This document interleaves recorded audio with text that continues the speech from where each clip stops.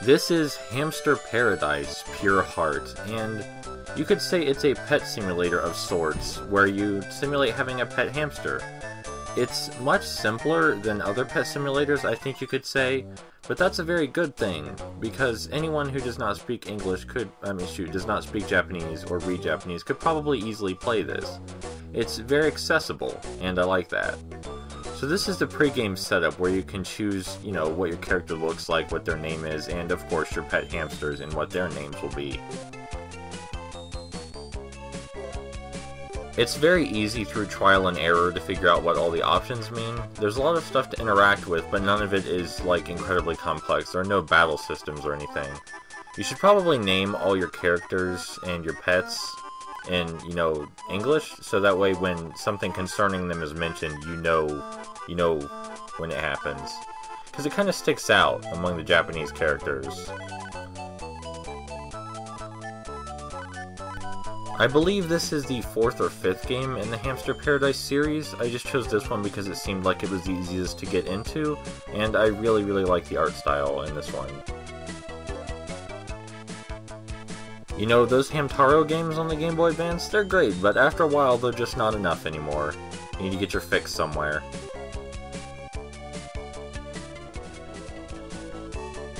So of course we need to pick which hamsters to take with us. All of them have different attributes and like different things, but I cannot read Japanese, so we're just going to go with the prettiest one, I think. His name's going to be Beans. Uh, there's also a difference between the small and large hamsters, though I have long forgotten what it is. You can also choose to take just one hamster, but this game's is this game's not very taxing. It's impossible for your hamsters to die, and they're very easy to take care of, so you know, there's no reason not to grab two of them.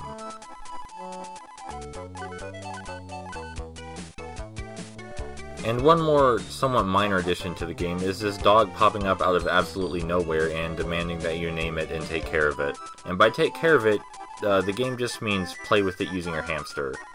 I don't think you have to take care of it at all. I think it's just there to give your hamster some extra things to do, which is fine by me. It's cute and I'm going to edit out the text tutorial because once again we cannot read Japanese. And we're just going to go ahead and get home. You get home, put our little hamsters in their little hamster house. And we're going to play with them. We're going to see how you interact with them. That obviously means day one. So there's their little home. There's a lot of stuff in here for them to interact with. That one's already grumpy. You can press B to bring up a roulette of options, and they will physically express dislike or interest in something. If they're jumping up and down happily, that means yes, brush me right now. Why are you not brushing me already? That one really wants a bath, which should be evident considering he was smelling his armpits. So the hamsters are really expressive. It's very easy to tell what they want. You don't need some sort of text blob to tell you what your hamsters need. Each hamster has a preference for a certain kind of food. You start out with a decent amount of food, but you do eventually need to buy more. You can figure out what your hamster's food preference is simply by how they react after eating. They do get jealous if you only feed one of them, understandably, so try not to do that or you'll start a fight. Some, sometimes they will paw at the walls for attention from you, also, yeah, you can play with the wheel and make them hop on it because you're fiddling with it. Here's how you make money. Through little mini games. And we're gonna do the most interesting mini game first. As soon as I as soon as I select it. It's a vertical shooter with your little hamster buddy. Yeah, really. I think I think that's really absolutely adorable. It's not very hard, and as far as I know, there's only one stage, but it's really adorable, and it's a really fun way to make money for a game, you know, geared toward kids. It's not it's not very stressful. This whole game is very relaxing. Very fun to play. Again, though, it's really simple. It's not something you sit down and play with for extended periods of time. It's something, you know, if you're waiting somewhere, you pull it out, make money for your hamster, play with them a little bit, and then you just turn it back off. And you know, I certainly would have loved to have this on my Game Boy, and so would my siblings. My siblings would, would love this game. It's, it's very fun, and it's very cute, and they would love it.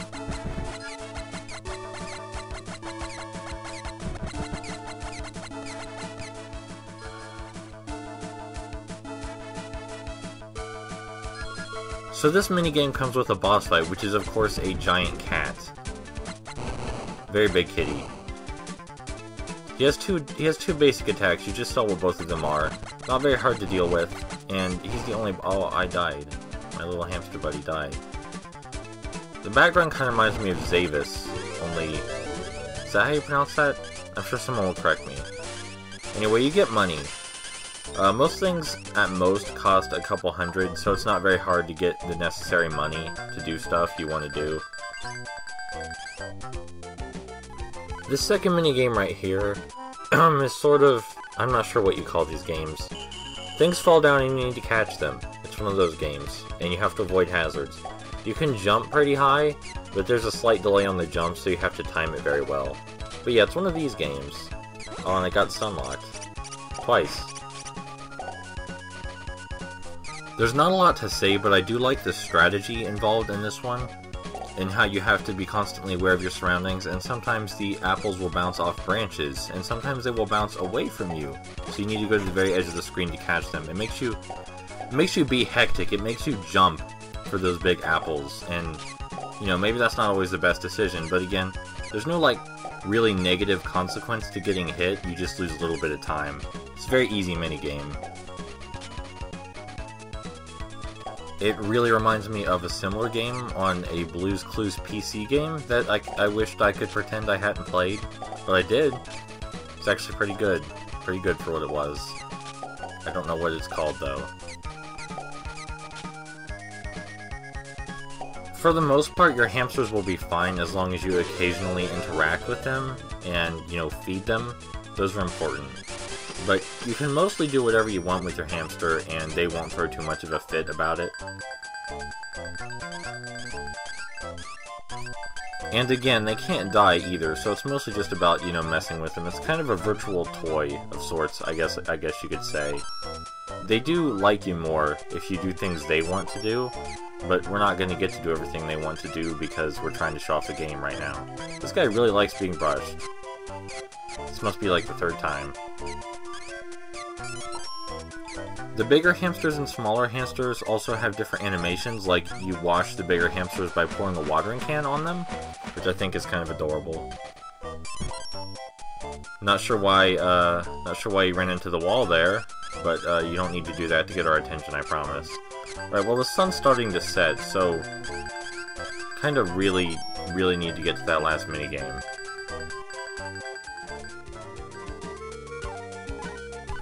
This last one's a tile puzzle.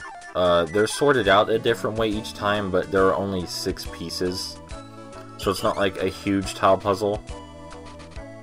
Doesn't mean I won't get stuck, though. Doesn't mean I won't get stuck. But yeah, this is... They only use these six pieces, I believe. I believe this is the only puzzle in the game. Maybe you can buy or unlock more. I have not played this game in a while. I, I completely screwed. You know what? We're, we're just gonna pretend I finished this really, really fast, regardless of what the timer says, because I'm gonna jump ahead here.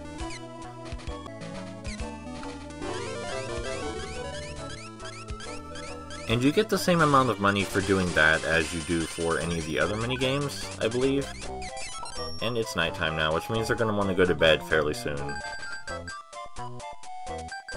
So the game would be a reasonable enough distraction, reasonable enough portable... Oh, he, oh god. Why did you do that? The game would be a reasonable enough distraction, you know, reasonable enough portable game with just this little hamster hideout to play with. But you can take your hamsters outside and interact with things outside, which is what we're going to do tomorrow. We don't have time right now because it's getting too late. This guy really, really likes brushing. Yeah, there we go. Beans is starting to get tired. You can look inside their little house to see if they're goofing around in there.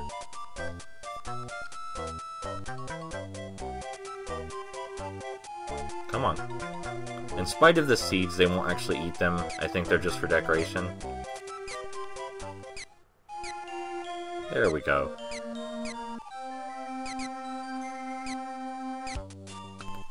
Alright, so day two. No fooling around. We're gonna get straight outside. We're gonna go explore that big wide world out there.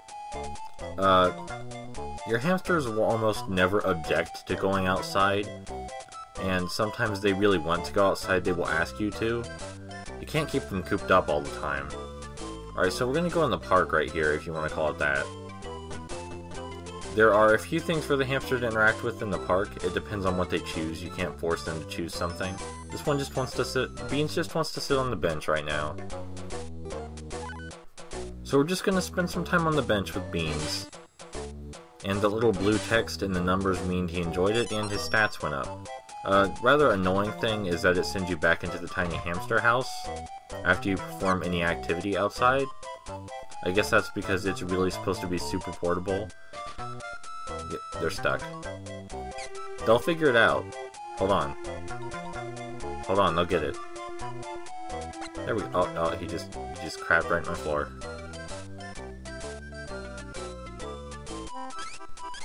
So, the town isn't enormous, but there are a reasonable number of things you can interact with in it. And we're gonna let, uh, oh my god, I forgot his name. We're gonna let Buddy interact with Ruffs here. There we go.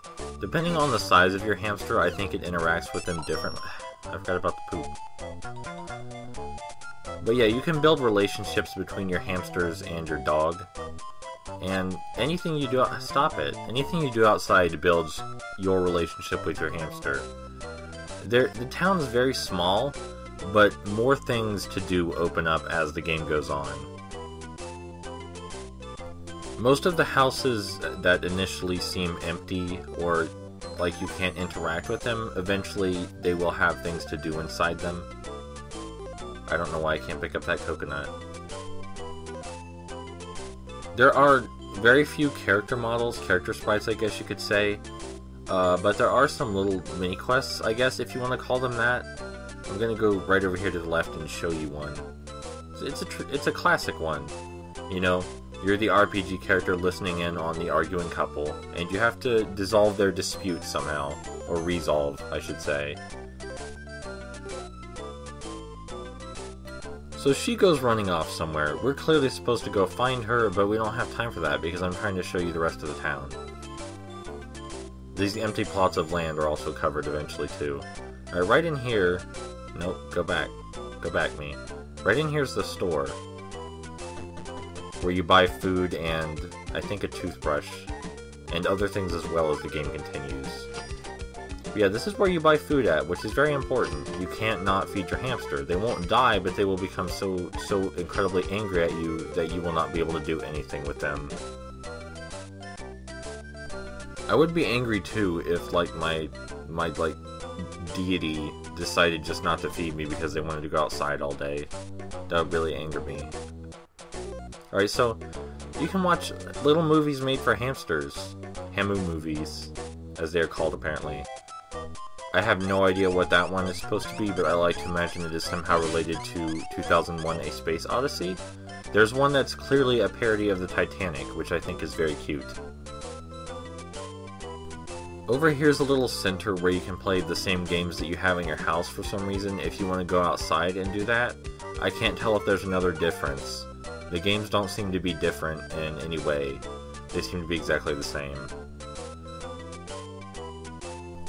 But yeah, we just ran around most of the town, so it's not a very large town, but again, there are more things to interact with the more you play. So it's not like it's just completely empty or anything. And we're gonna let Buddy... No, that's not Buddy. I was gonna I was gonna say we're gonna let Buddy interact with the park, but, but I screwed up. Nothing wrong with Beans playing in the park again. This is the one of the other interactions in the park. Again, you choose an option, and depending on your hamster's personality and skills, uh, he might either like it or hate it.